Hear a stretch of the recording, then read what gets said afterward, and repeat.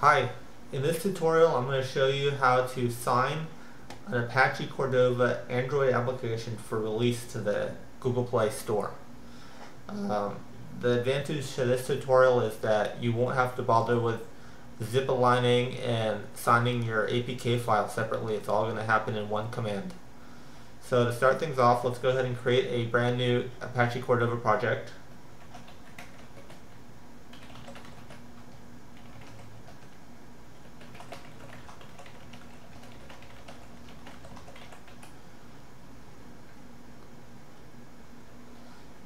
So I went ahead and I created this project on my desktop.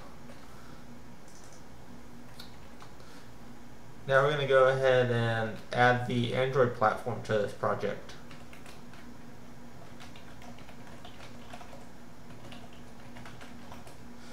This is all assuming that you've already installed the Android SDK to your computer. So with the Android um, platform added to your project, let's go ahead and we're going to create a key store which will be used to sign our Android application. So using the command line, go ahead and navigate to the platforms directory and then Android directory of your Cordova project. We're going to go ahead and create the key store in that directory. So let's go ahead and, and launch the command.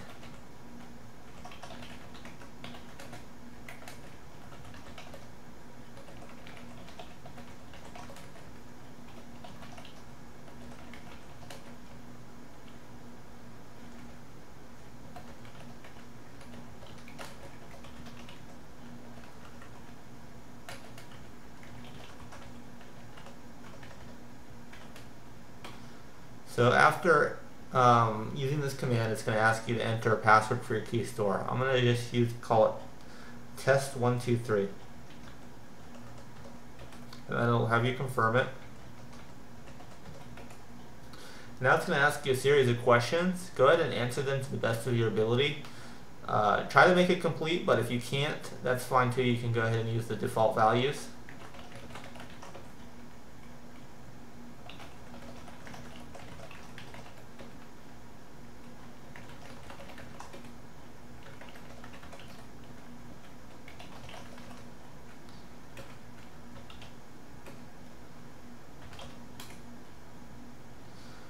After you um, enter those values, it's going to ask you for a different password. Um, for this purpose, I'm just going to keep the same password as I did for the key store.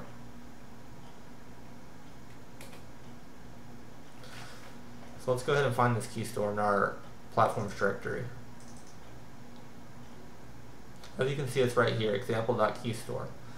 The next step is to tie it together with Apache Cordova, so that way you can run it all with one command. So back in your terminal, go ahead and run touch ant.properties. And that'll go ahead and create a uh, properties file for, for ant.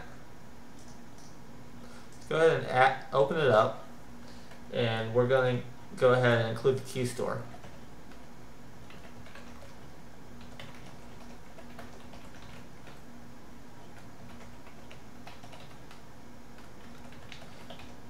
We're going to use the name of the key store and then the alias that we used when using the key tool command. So let's save it. We can exit out. Um, so when you run the ant command, it's going to look at this ant properties file and notice that the key store is available for signing. And when you run the Cordova build command with the release flag, it's going to go ahead and run ant with release mode. So let's go ahead and try it.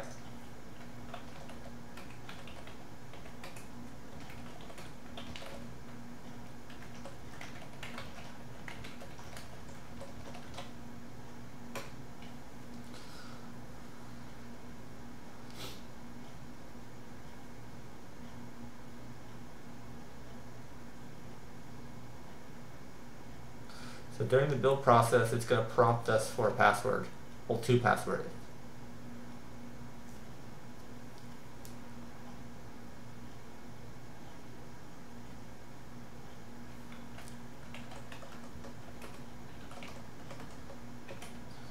And as you can see, after entering my two passwords successfully, the build was successful. And to test it out, we're going to go ahead and launch it in our simulator.